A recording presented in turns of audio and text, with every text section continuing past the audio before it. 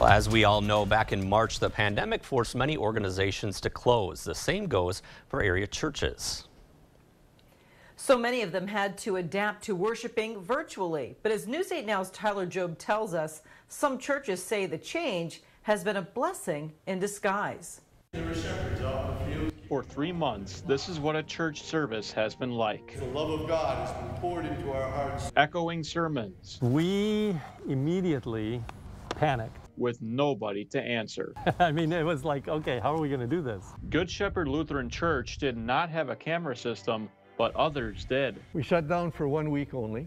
The next week we opened up had uh, full uh, video equipment ready to go. So English Lutheran, Good Shepherd Lutheran, and Our Savior's Lutheran all joined together for an online service. Our numbers those first weeks blew us away. Mark Solist, pastor for English Lutheran Church, says more people than usual suddenly wanted to worship online. Let us pray. We were doing, you know, like 500 logins which for the industry standard, which I'm told is 1.8 people per login, uh, that would be 900 people.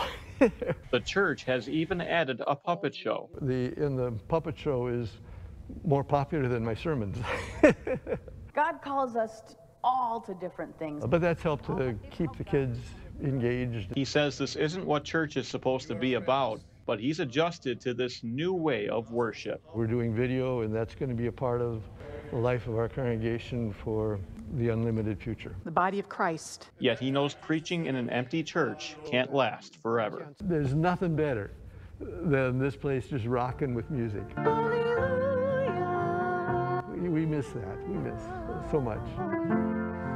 In La Crosse, Tyler Job, News 8 Now.